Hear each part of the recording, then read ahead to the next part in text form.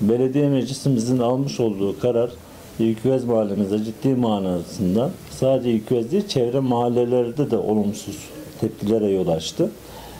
Bununla ilgili e, tabi bu tesis daha öncesinde bin, işte 1960'lı yıllarda 460 e, vatandaşımızın, bölgedeki vatandaşımızın bir araya gelerek kurmuş olduğu bir kooperatif alanıydı.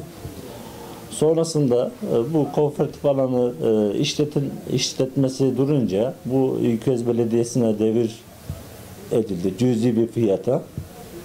Sonrasında İlköz Belediyesi buraya vatandaşa, bölge halkına sosyal bir tesis kazandırdı.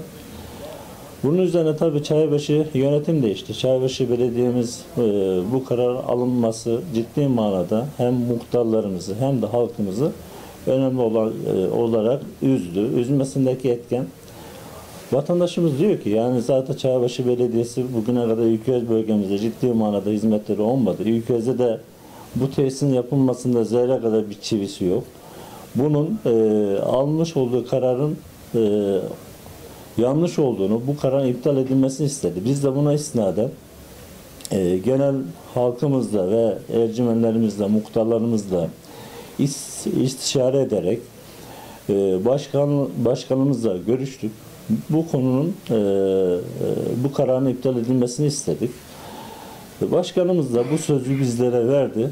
Bu da tabii bizim açımızdan olumlu, ne kadar resmi olmasa bile başkanımızla görüştük. Bu konuyu değerlendirdik.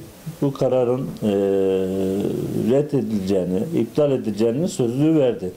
Biz tabii e, buna istinaden biz de yine tekrar olarak e, dilekçemizi e, verdik. Bu kararın iptal edilmesiyle ilgili.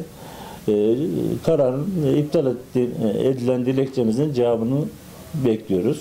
İnşallah olumlu bir karar çık- çıkar diye bekliyoruz.